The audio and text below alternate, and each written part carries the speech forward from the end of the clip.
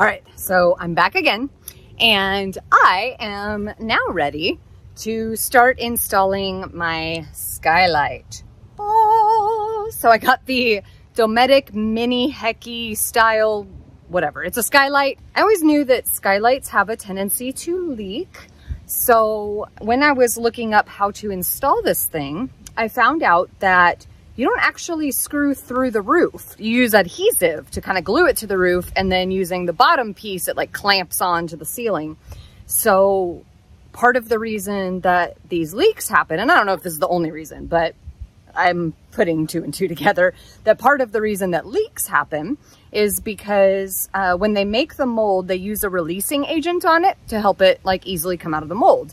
Problem is that releasing agent stays there and that means that things won't stick to it like adhesives. So I looked up some ways to maybe remove the layer of releasing agent.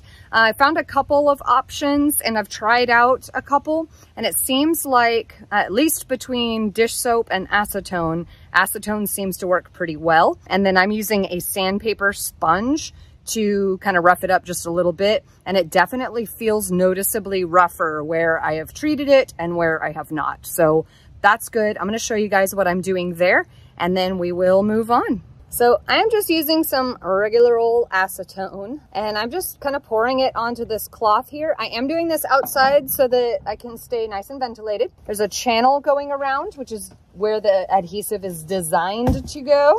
So that's kind of where I am focusing my acetone. And then, so I'm just kind of rubbing it on here first. And then I'm taking, I just bought like a little sandpaper sponge. I could have used regular sandpaper. I didn't.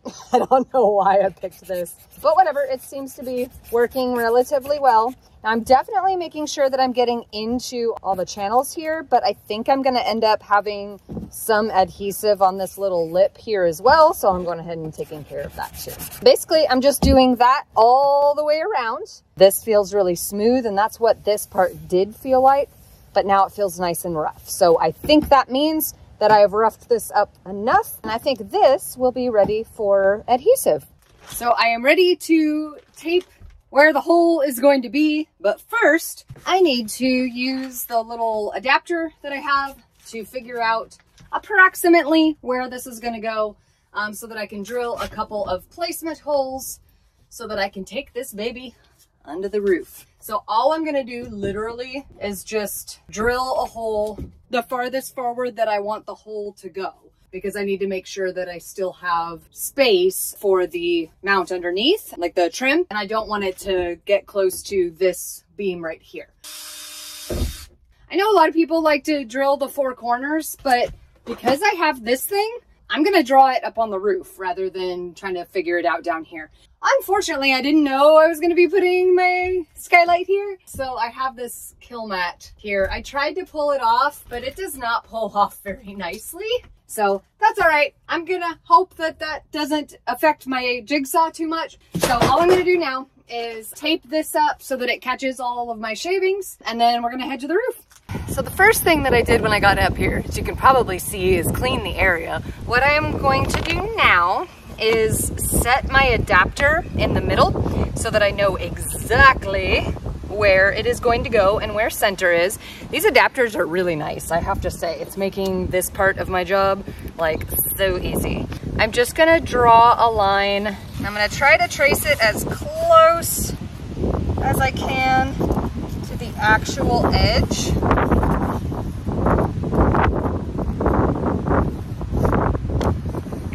I'm pushing down. And then what I'll do is just double check my lines when I'm done and make sure that it is in fact 40 centimeters, which is 400 millimeters, which is like 15 and three quarter inches. Looks like that is exactly 40 there. Okay, so I need to cut pretty much right on the line. Uh, what I did realize that I did not bring up here with me is my masking tape. So I'm gonna do that next and then we'll drill our corner holes and then cut this thing out.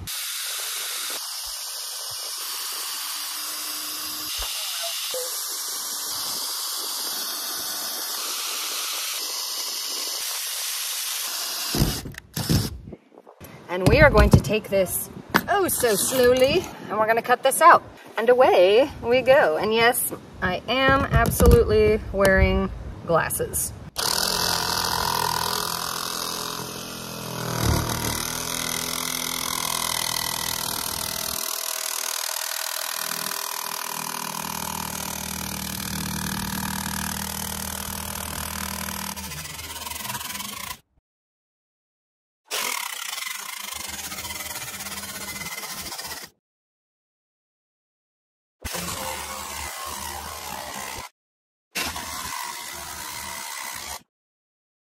I missed this little corner here and a little bit of this corner and a little bit of this corner because um, corners are hard. Um, so I'm gonna try to get those corners real quick. Okay. Moment of truth. Oh, that goes in. All right, so I'm gonna try it one more time, but with this thing so that I can make super sure that I'm doing this correctly. I think that's good. Okay, so I am going to get my file and file these edges, and then I'm gonna hit it with the Rust-Oleum on the exposed metal. Oh, this is crazy. So we are back. I'm in a different location because the light that I was using, first of all, as you can see, it got really dark. Sorry about the freeway noise. I'm at the Bass Pro shop, but that's because they have lights here. So I'm parked underneath one of those lights. I am gonna be using window weld now to attach the adapter. One of the things I noticed last time I used this, that has this little like can opener thing at the bottom, and you really do open it like a can opener. And now I can fit it into my caulking gun after I cut the tip and puncture the seal. This adapter did not come with instructions like the last ones did, which is weird because I'm pretty sure it's from the same people, but it's made out of the same exact material. So I'm going to assume that the instructions are about the same. So I'm gonna make three beads or three lines of this stuff around the adapter and then I'm just gonna stick it on. Now I'm gonna make sure that I do it the right way. The fat part goes to the back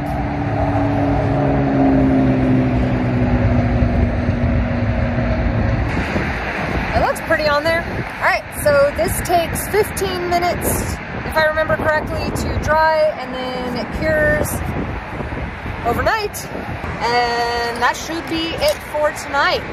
So I put the framing up here. I used two by twos this time for the frame underneath. So now what I'm gonna do is I'm gonna tape this up so that I can get back on the top and trace out a hole so I can cut a hole in this because it's gonna go up right here and then I'm gonna put some pretty stuff on top of it and have sort of like an accent part of the ceiling.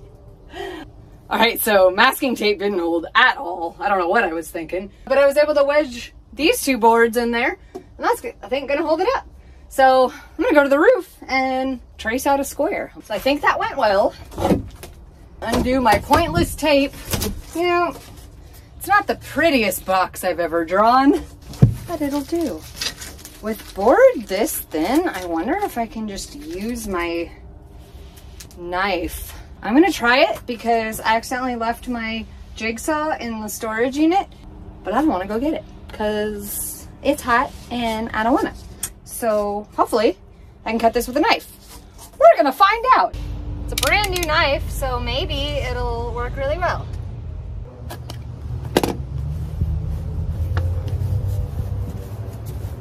No, that's not gonna work. Well, I tried. I'm gonna go get my jigsaw and fight off this fly. And that's not centered. I just realized that. That's not centered at all. I'll just move that square over to the actual center Fun fact, Jigsaw works way better. All right, that wasn't too bad. And this is way more centered. So this is ready to put up. I wonder if I should go ahead and put the decorative stuff onto it first. Let me think on that for a minute and I will be back to do something. So all I did there was just score it so that now I can cut it. And thank goodness, it cuts rather easily. I don't care if this is super perfect because it's gonna be covered with the trim. All right, and then let me check my work.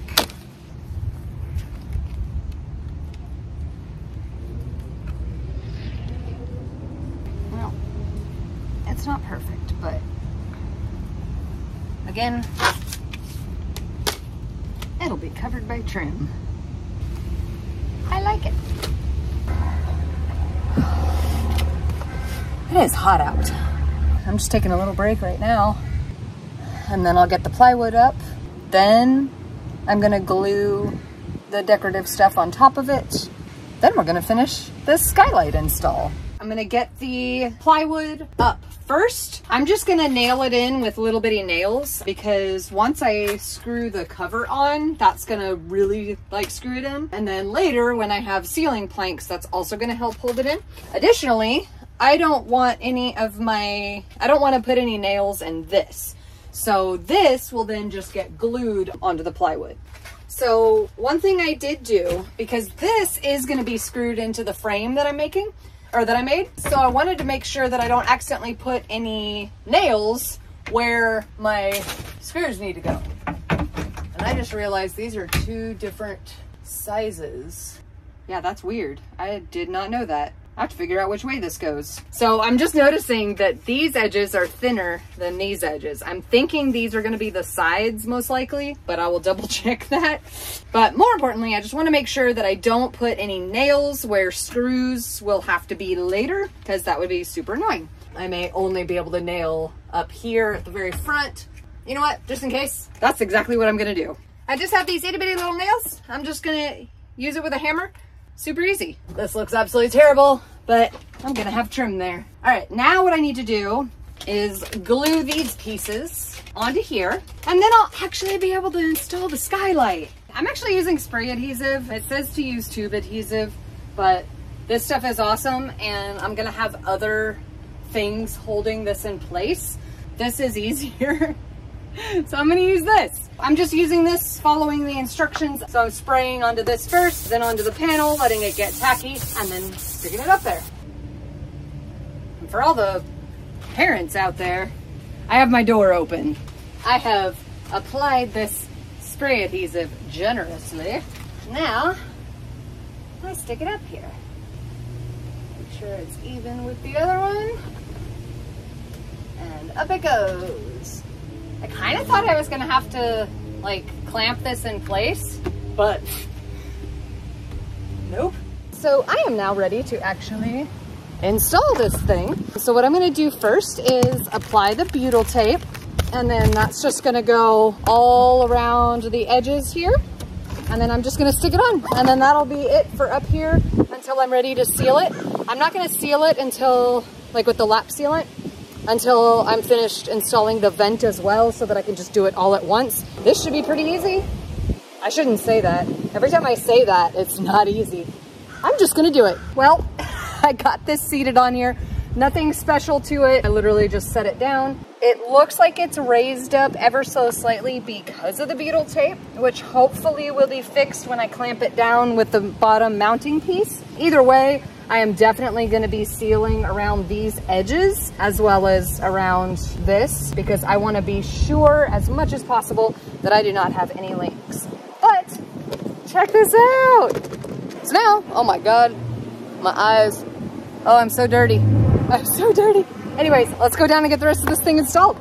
Okay, so I had put this up to here and kind of determined that it doesn't matter which way I put it. It will just make a difference of when I put on the shade, which direction the shade will go. I think maybe having the shade go side to side would be better. The other thing I am noticing is I'm gonna have a pretty large gap between this and this. Hopefully that's not too big of a problem. I didn't think this was like that thick.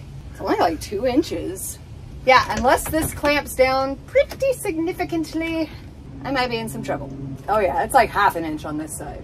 Oh my God, maybe even more. I'm gonna read the instructions one more time before I do this. Well, I didn't see anything super interesting there, so. So I'm gonna start with the screws that mount into the skylight itself. Oh, I hope it's even gonna be long enough to catch it. Oh my God. It might not be. Oh, I might be in some trouble.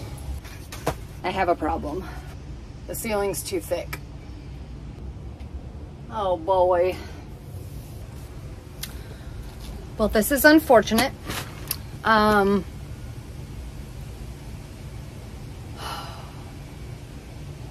I'm gonna have to trim down my frame. Uh, all those nails that I did are for nothing.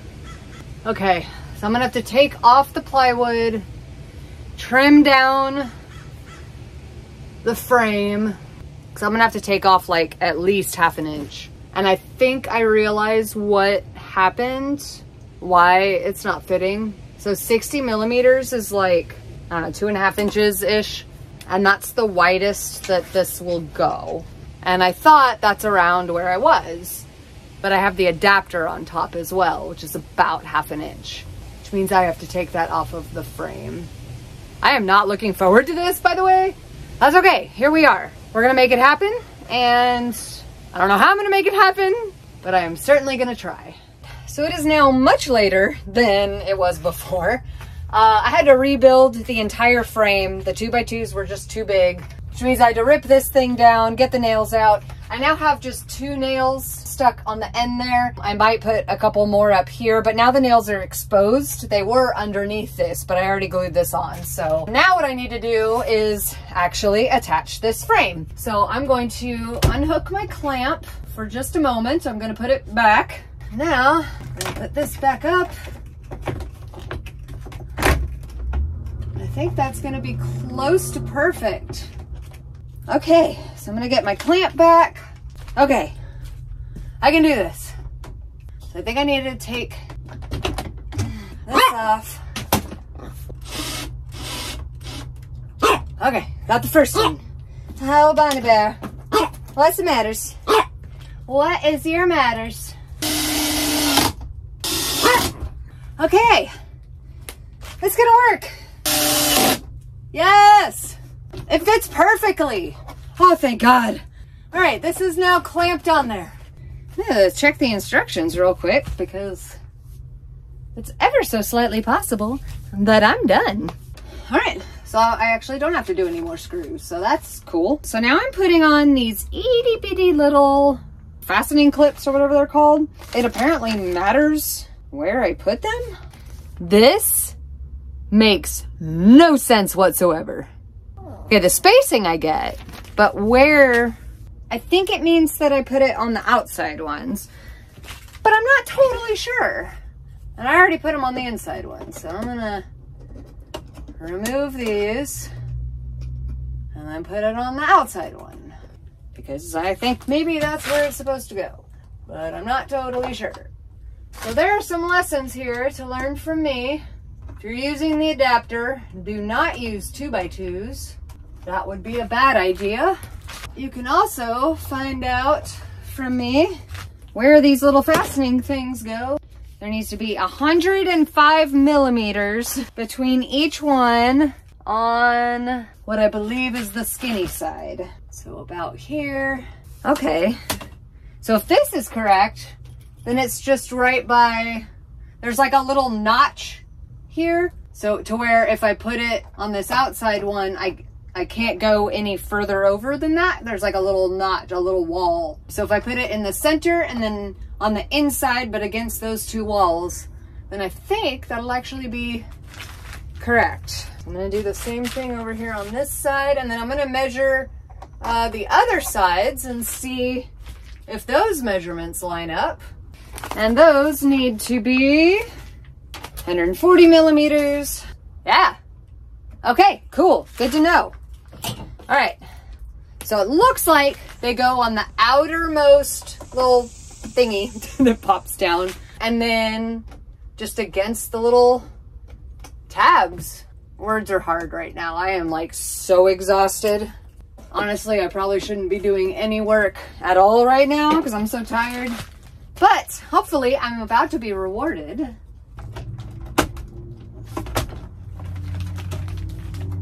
my God, I can't see this at all.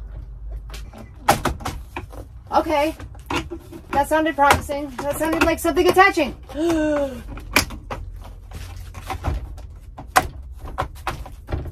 yes!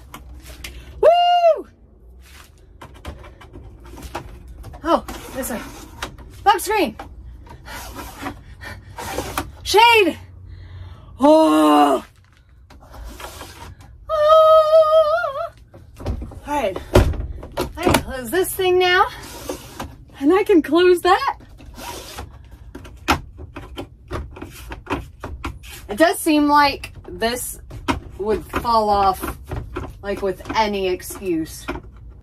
But for now, it's done.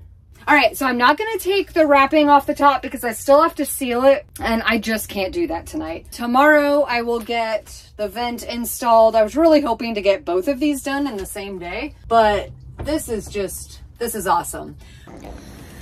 All right, so I was cleaning up for the night and realized I don't have my butyl tape. I think I left it up here. Question is, did I? Oh, I did. It's over there. I'm gonna get it. I'm gonna get it. I've driven around a few places and I am shocked. And it is still here.